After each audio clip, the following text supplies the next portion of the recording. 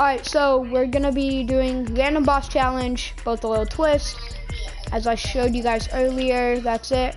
This, this is the story, by the way.